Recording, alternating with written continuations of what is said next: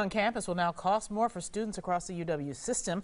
Veronica Macias joins us live at UWM, where the Board of Regents just approved a $6.2 billion budget. Veronica, I understand this was unanimous.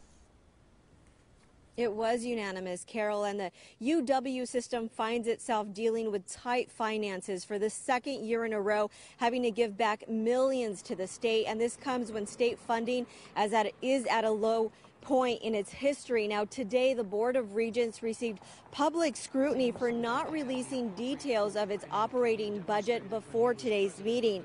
Now, these significant changes include further spending from the reserve fund. Increased fees known as segregated fees are going up at an average of $59 for students at all nine campuses fees that pay for, for example, an approved student center at La Crosse. There's also a 1.7% increase applied to room and board fees.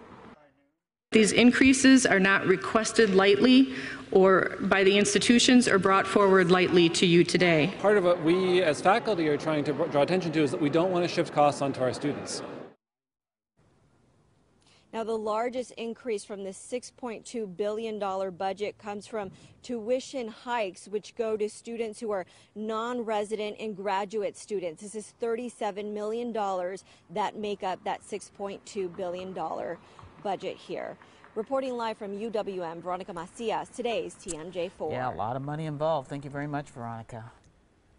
Decision